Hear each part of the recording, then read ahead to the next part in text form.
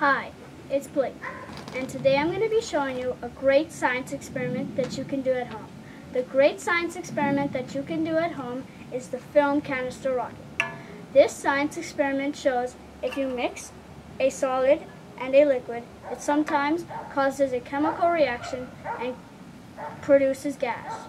The, ga the gas for this in instance is carbon dioxide.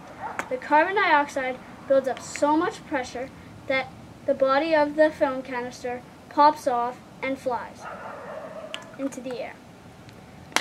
What you will need. You will need a film canister, some water, an Alka-Seltzer tablet, and safety glasses or goggles. Remember, safety first. Step 1. Take the lid off of your film canister. Pour a quarter of water into the film canister. Second, drop your Alka-Seltzer tablet in, snap on the cap quickly, turn it upside down, and step back.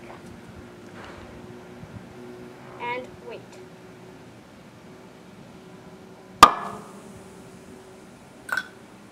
And there it goes. Thank you for listening to my science pre presentation. And goodbye.